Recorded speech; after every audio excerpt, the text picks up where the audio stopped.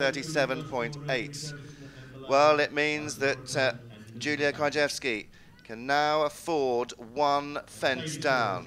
33.4 is her score, 37.8 is the score of Kimberly Severson. It's either going to be a German win or a win for the United States of America.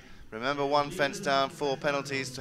Four penalties would take her score on to 37.4, but she cannot afford to be one second over or have two fences down.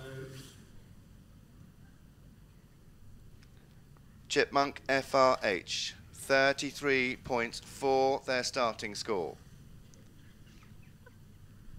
An incredible round on the cross country yesterday.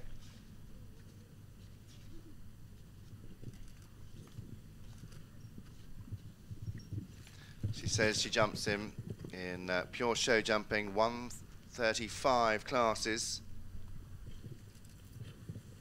owned by Hilma Meyer Kulenkampff and uh, Julia herself, just nine years old, by Contendro, won the CIC three-star at Strzegom in Poland last year.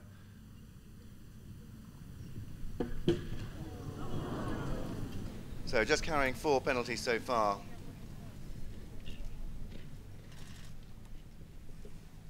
Well, her first ever visit to Blenheim.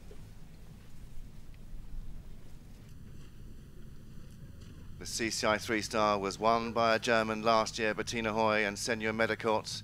Are we going to see another German victory? Well, she's got two fences left to jump.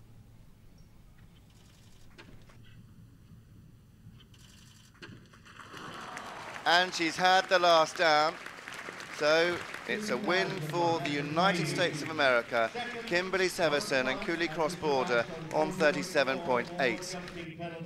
Eight jumping penalties gives Chipmunk and Julia Krajewski on a score of 41.4. So, Kim